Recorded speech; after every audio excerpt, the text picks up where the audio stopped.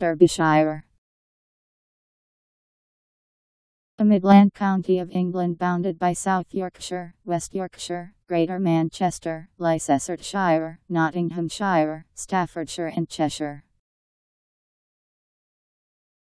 D E R B Y S H I R E Derbyshire